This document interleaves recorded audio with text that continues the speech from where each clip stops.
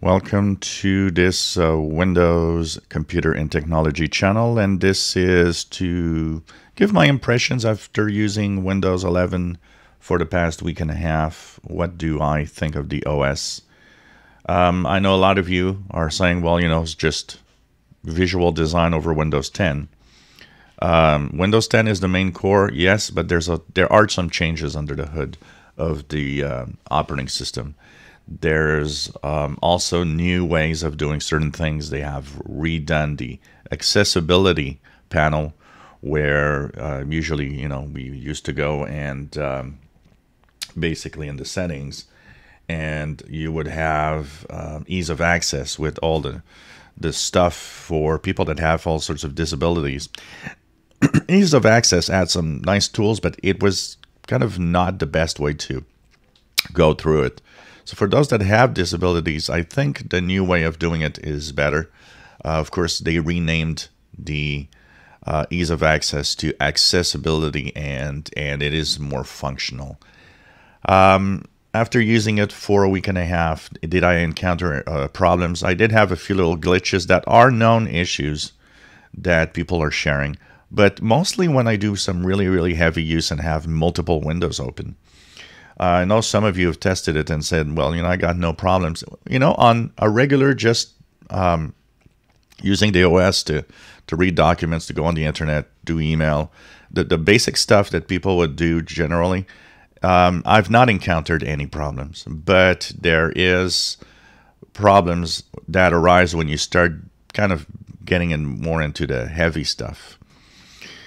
Um, I am getting used to it, and I kind of like a lot of the aspect of visuals. First of all, yes, I do love the visuals. Um, I, it's something that I find uh, kind of cool because I, you know, had um, I, I like to have new stuff to look at. I have I like to have. It's like a, you know, when when you paint your your home, different colors and change things, you know, move things around it's kind of a new place, even though you still live in the same house.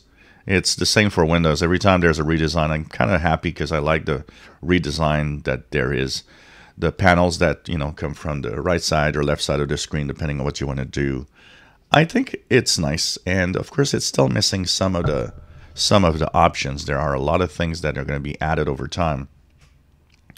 Uh, and uh, so, you know, we're going to see more but I am liking it. I like the new File Explorer. There are things to get used to. I mean, um, you know, if you if you click on on a uh, uh, right click on a document, for example, in the File Explorer, the menu is different, and it's kind of you got to get used to the fact that you know there's a little uh, kind of uh, recycle bin or, or, trash can, if you want, for the delete, rather than um, having it in the contextual menu, contextual menu, which is a little different. So you got to get used to some of these icons and stuff, but I like it.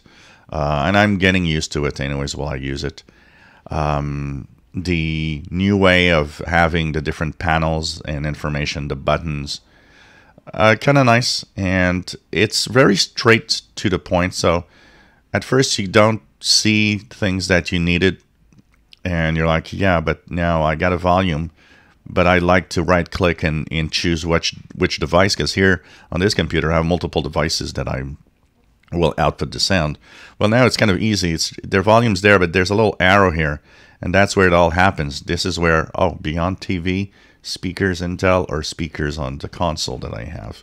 So you do have a learning curve of a lot of the new options in the menu uh, and the menus and the way that the things have been redesigned but overall it still is pretty good and still works. Now, uh, a lot of people have been complaining about the task manager. You know, when you right click the taskbar, it's going to taskbar settings now. But if you get used to the fact that you just right click on the uh, start button and, and click task manager from there, you still have the task manager available. It's just that you've got to remember uh, that, you know, that's the where, where you're to go and, and check that out uh, when you actually um, you don't want to go to the different options, including the task manager. Um, I like the feel. I like the color, uh, the color, and the different menus. It is nice. It's fast. I find this to be quite fast on my PC, And a lot of people actually been saying that they find it faster than Windows 10. So obviously, there's a lot of tweaks that have been done in the operating system to have this work better. So um, this is honestly after a week and a half, I'm happy. Uh, I'm happy of using it. And uh, actually today, if you are on the dev channel, a lot of people have been asking me uh, today um, on um, Thursday, July 8th, there is a new version of Windows 11 for insiders. So check it out as uh, new features apparently are in there. So that's going to be something to look at. And if you want to know more and know more about the new features, go to my Windows Insider channel. Uh, that's where it all happens. The link is in the description below the video. And uh, we'll, you know, continue. We'll talk more about Windows 10 here, but um, as from time to time, we'll come back and, and kind of look at the state of where we are in Windows 11. And once again, for a lot of people are saying, oh, this is coming out in October. Nope, Microsoft did say that this is going to be for Christmas holiday season. And that if you're a Windows 10 user, you might not actually have it appear on your Windows updates before January at least of 2022. If you enjoy my videos, please subscribe, give us thumbs up. Thank you for watching.